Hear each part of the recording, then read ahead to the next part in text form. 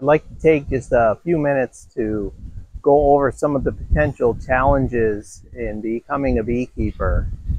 Um, first and foremost, you need to get together with a, another group of like-minded individuals, such as a bee club or some type of bee association. We did that when we first started five years ago, and the bee club that we are affiliated with is 50 miles from our house, which is about an hour. So it's a two hour round trip. The association was great. Um, the club was great to get us started and the classes that they gave were excellent, but nothing compares to hands-on. So having a mentor is a must. And for us, it didn't work out so well. Um, those that were willing to be mentors for us, did live a substantial uh, distance away. So we never really had a mentor. We still don't have a mentor.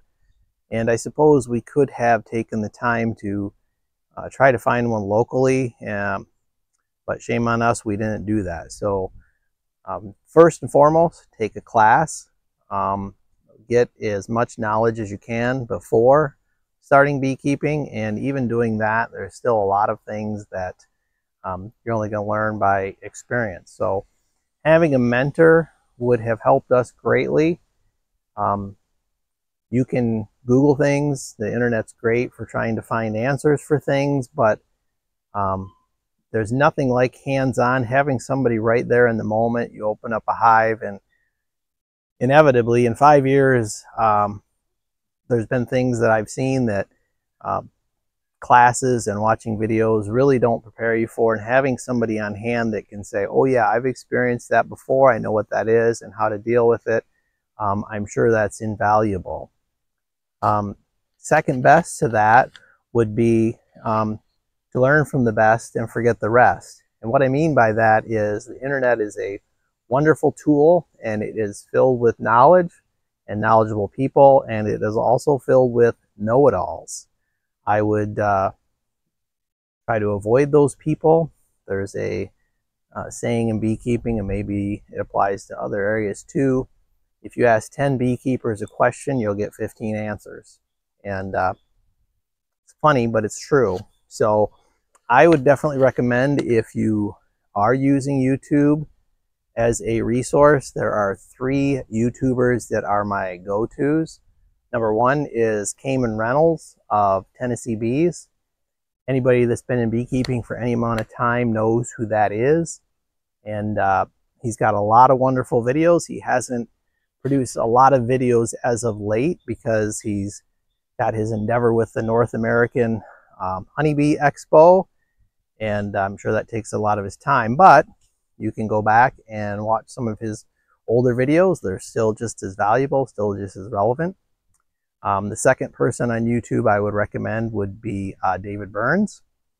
Um, and I really like David because he is just down to earth, open, honest, straightforward, um, and he's relatable.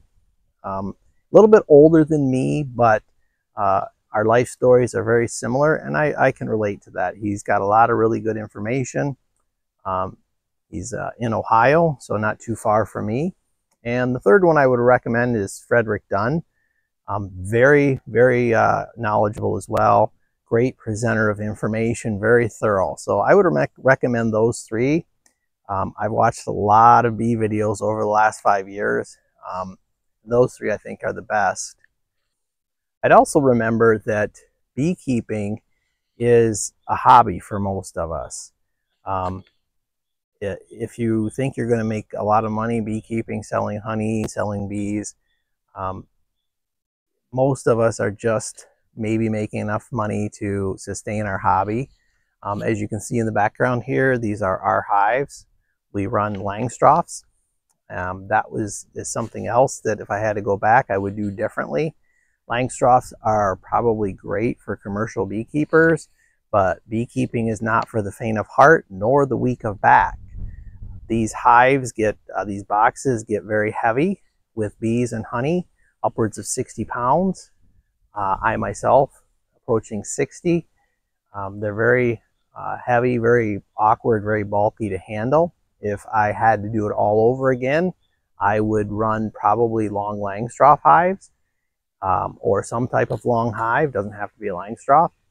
Um, again, I think that it's just more easy to handle, more manageable for the part-time beekeeper, the hobbyist, the hobby beekeeper. Um, again, these hives, these Langstroth hives, are great for commercial beekeepers. It's a very uh, modular type system. And the other thing that I would um, not do, the some advice that we got that I don't think was the best advice was um, to run all mediums.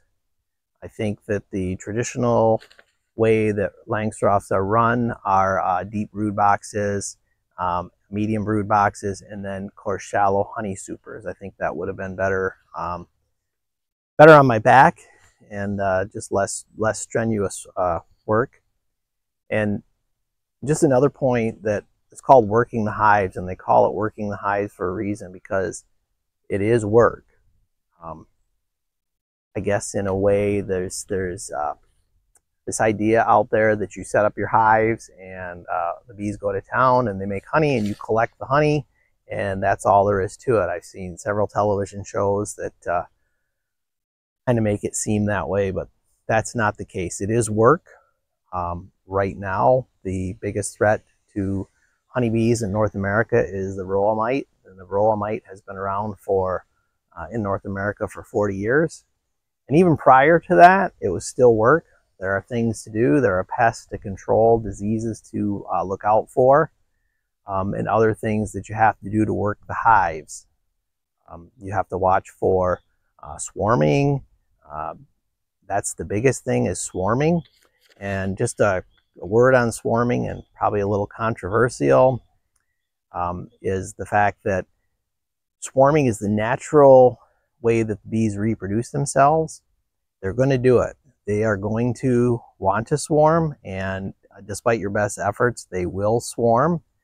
Um, and the controversial part for me is that we were taught that when we seen the signs of swarming, to split the hives. And as you can see, uh, right now we have, uh, what do we got? One, two, three, four, five, six hives back there.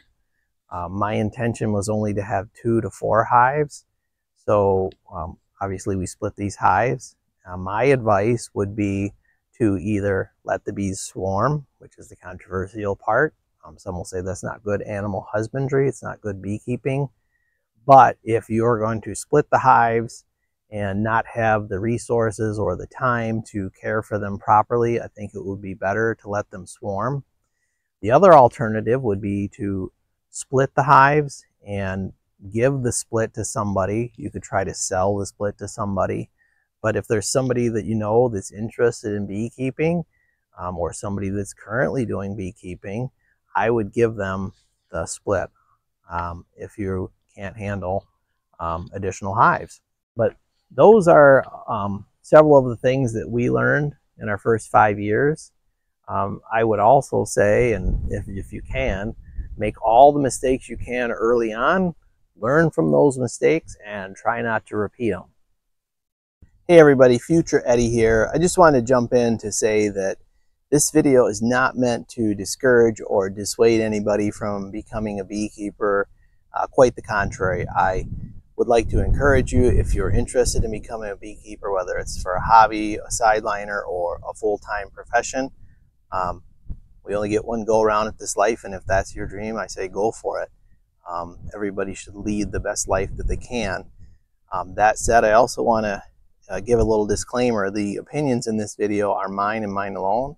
I do reference other beekeepers in this video, and I'm not inferring in any way that uh, the practices that I have in place or the things that I've said in this video uh, are things that they would condone or endorse or teach.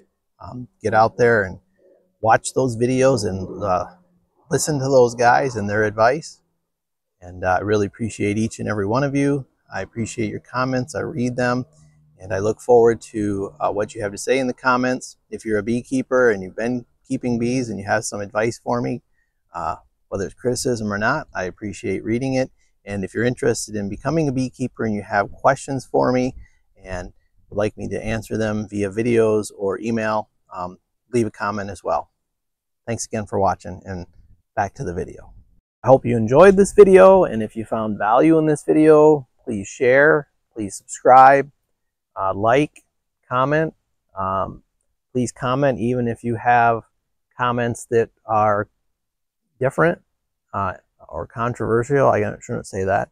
If you have comments that are opposing viewpoints, I guess would be the right way. Help me, uh, educate me. Uh, again, five years experience, that's not a lot. No mentor. Um, so I'm just learning too, still learning, hopefully to continue to learn. And uh, hope you all enjoyed it. See you on the next one.